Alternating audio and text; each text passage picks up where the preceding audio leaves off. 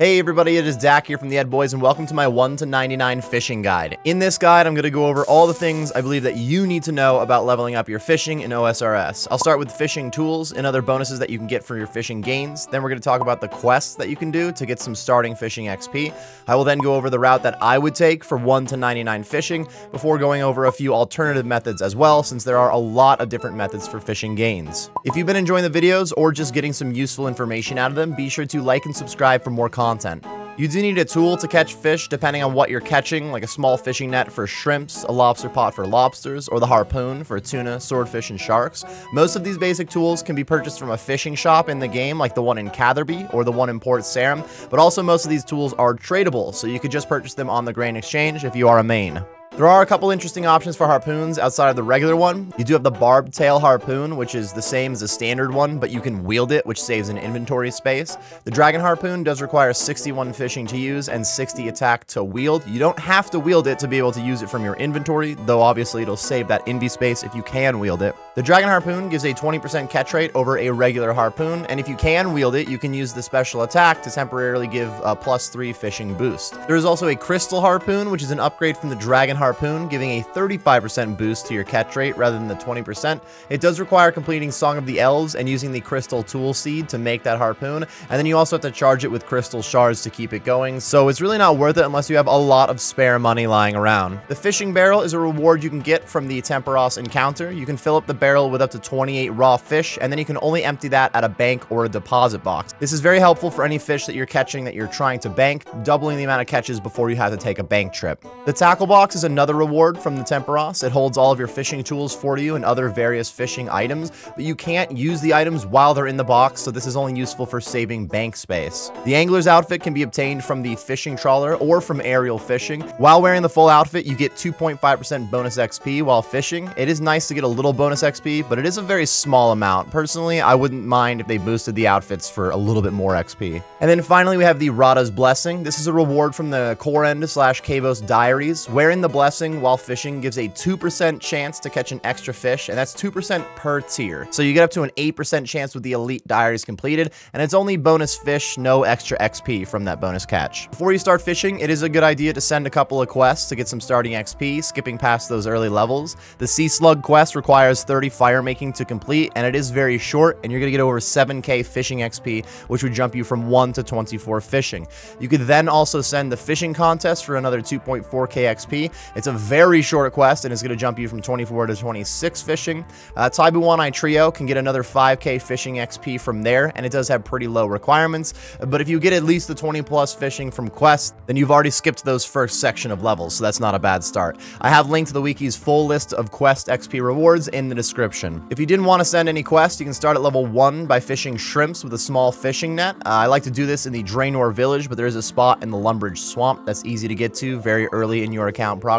At level 15, you will automatically start catching anchovies as well, which is some bonus XP, and you can just drop the shrimp or anchovies that you're catching since they're so cheap. There's no need to bank them. Levels 20 to 47, I would go for fly fishing, which does require a fly fishing rod and a bunch of feathers. You use one feather every catch. 1500 should be enough to get through these levels, but in the long run, you might use a lot more feathers during your fishing gains. I am fly fishing at the Barbarian Village, but there is a nice spot in Lumbridge as well as the Shilo Village. Fly fishing can be very quick XP an hour once you get to high levels, but for this guide, you're moving on at level 47, so you won't quite get to those quick XP rates, though level 47 isn't that much XP overall. I do suggest just dropping the trout and salmon as they are fairly cheap. You could bank them if you had zero cash and you needed some starting GP, but honestly, if you're that low on GP, I highly suggest out that you check out my Blast Furnace guide. At the Barbarian Village spot, you could cook the fish on the fire over here. If you're really interested in getting some cooking XP at these low levels as well, then I do suggest switching to Tempoross at level 35 fishing, but we'll be talking more about that in a little bit.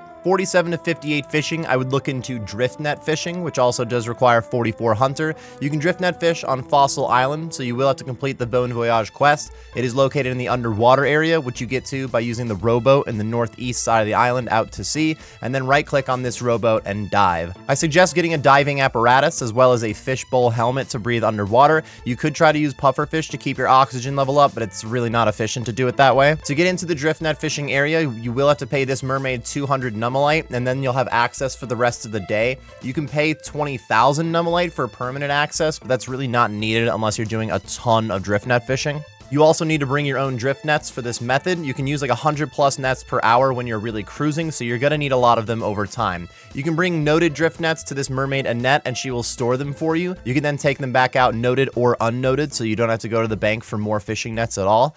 Uh, to set up the drift net, you just click on the anchor point with a drift net in your inventory. There are two different spots that you can set up nets in here. You can just leave the nets to passively catch fish. Once 10 fish shoals are in the drift net, it'll be full and you can harvest it for a variety of fish. The higher your fishing level, the better fish that you're going to get and the better fishing XP that you'll get. It is very slow to just wait on the fish to get caught though. Clicking on the fish shoals will make them more likely to move towards the net. If you're wielding a merfolk trident, Trident of the Seas, or Dragon Harpoon, you are more likely to make the fish go towards that drift net when you click on them. So the Merfolk Trident is a very nice add-on, and I do suggest trying to invest in one. This is very click intensive compared to most fishing methods, which does make it a little bit harder to keep up XP rates. And also you're not really going to make any money here because drift nets aren't necessarily cheap.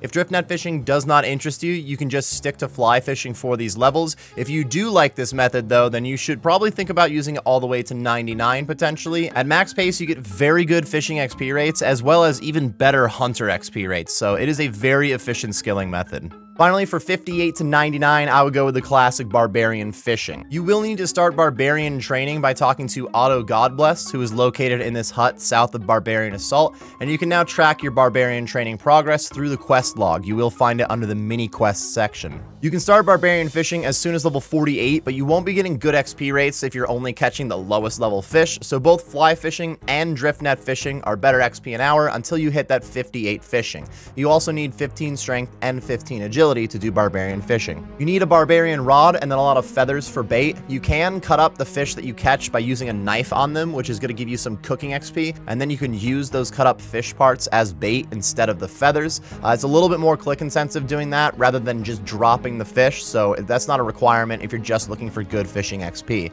You can get 40k to 60k fishing XP an hour here, as well as 4 to 6k strength and agility XP an hour, which is a pretty nice bonus. It's pretty low intensity, making it easy to keep your XP rates at a high point, but you could also three tick fish to boost up the speed here. I will not be going in depth on three tick fishing in this guide, but if you're interested in a three tick skilling guide, let me know in the comments section below. Barbarian fishing is pretty quick XP for fishing, but it still takes a while to get to 99, so let's go over some of the alternative methods if you're looking for a few different ways to get XP. We'll start with the Tempoross. The fishing boss is an engaging way of training fishing other than just catching and dropping or catching and banking. You'll need level 35 fishing to get started at Tempoross, and you can use it all the way to 99 fishing if you like it. To travel there, you should use this boat located south of the Al Kharid Bank. He's going to take you out to the docks where you can do all of your Tempoross gains.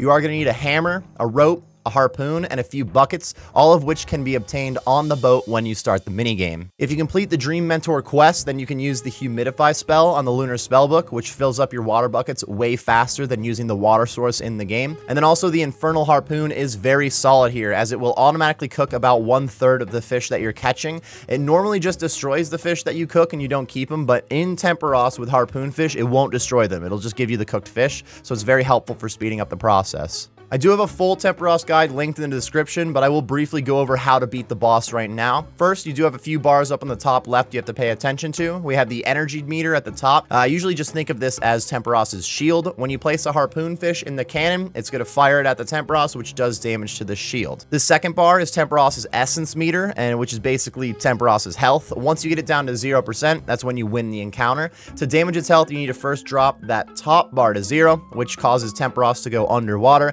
Then you can fish from the pools right next to him for a little bit of time, which will damage his essence meter.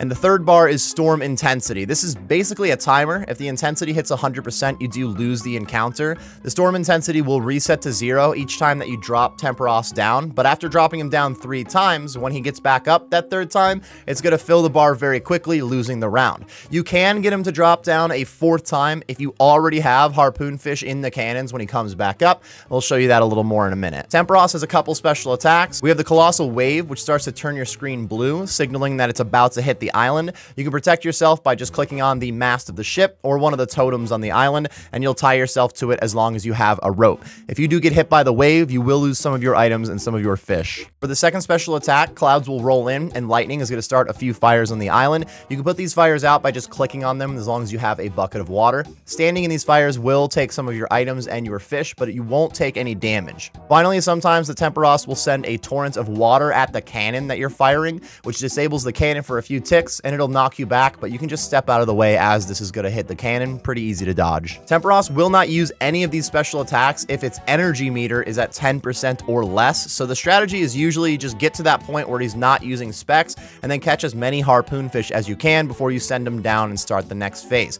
Let's go over what a full run looks like putting this all together. Start by fishing some harpoon fish. 17 cooked harpoon fish will be needed to get Tempoross down to 4%, which will stop him from using specs. Sometimes there's going to be a fishing spot with a harpoon fish jumping out of it, you can see, and that's where you're to catch double harpoon fish. So always try to fish from that spot when it's there. Cook the fish at the shrine on the island. Usually when you start cooking the fish, around then you'll see the colossal wave, and then a little bit later the clouds are to roll in, probably right around the time you're running up to the ship. I load 17 fish into the cannon and then go put out a few fires and catch more harpoon fish while we wait for that storm intensity meter to keep going up. I would like to get 19 more cooked harpoon fish, but if I'm not quick enough, I know that I want to run back to the ship when that storm intensity gets from like 90 to 93%. We want the 19 fish this time because we need one more fish to finish the current energy meter. Then it's going to shoot an extra fish and kind of waste that one. And then when the Tempoross comes back up, the rest of the 17 fish in there should get him back to the threshold for not using specs. While the Tempoross is down, fish a little bit from the pool in front of him to go ahead and do some damage. When he comes back up, we just repeat the process, get his energy down to 10% or under to turn off those specs, catch as many extra harpoon fish as you can, potentially juggling a few on the deck of the ship to get more inventory space, and then knock the Tempoross down as the storm intensity gets to like 90%. For the third phase, after you've gotten the energy back down to the no spec threshold, you can spend some time putting out fires for some bonus points if you would like.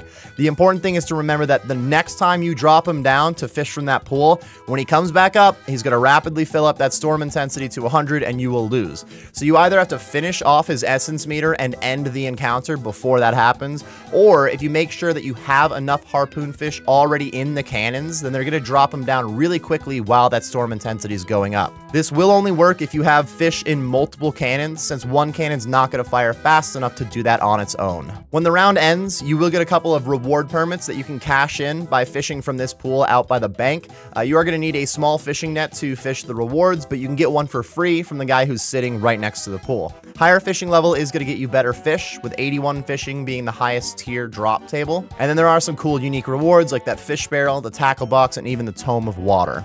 The XP per hour is not bad, as well as some easy cooking XP thrown in there, so you're training a couple stats at a time. Also, Tempoross is just way more engaging than regular fishing methods. If you have any questions or you just want more in-depth information about the Tempoross encounter, be sure to check out my full Tempoross guide, which is linked in the description. At 43 fishing and 35 hunter, you can start some aerial fishing. This can be done on the island in the center of Lake Molch, which is located in the Kingdom of Kourend. You can get to that island by taking any of the four boats on the outskirts of the lake, a very easy way to do this is using the DJR fairy ring code and then just running over to the boat. You talk to Alry the angler and he's going to get you started on aerial fishing, which really just involves clicking on the fishing spots and having your bird go catch the fish for you. It's a very click intensive method, but it does give fishing and hunter XP. In fact, you get more hunter XP than fishing. You do need some bait, which you can start off with a few king worms on the island. Once you catch a few fish, you can then just use a knife on those fish to get fish chunks, which can be used as bait, so you don't have to keep picking up the king worms. And there is a knife spawn in the building on the island. Uh, you will get some molch pearls as well, which can be spent in Alry's shop. There's a few cool rewards in the shop, but mainly this is an alternate method to getting the angler's outfit if you don't like the fishing trawler,